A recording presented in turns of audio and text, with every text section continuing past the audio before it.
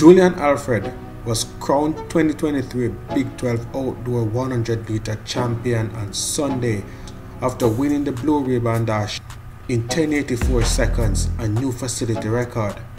Alfred was part of the Texas 123 as Kevona Davis and Ezinne Abba were second and third respectively in the 11.04s. Davis was clocked however at 11.31 and Abba 11.35. Julien Alfred got a second gold medal when she teamed up with Davis, Abba, Adeleke to win the 4x100 meters in 41.89. The time was a new collegiate record.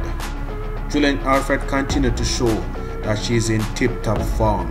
She is in very good condition to run fast and she's doing some exceptional times. She also did a 1074 yesterday wind assisted. Came back and ran at 1084 seconds. The young lady is performing at a high standard.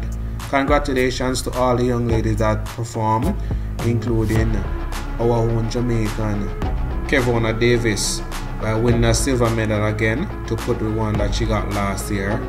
Continue to perform, young ladies, and the sky's the limit. I hope you all can make your country's world championship team to Budapest.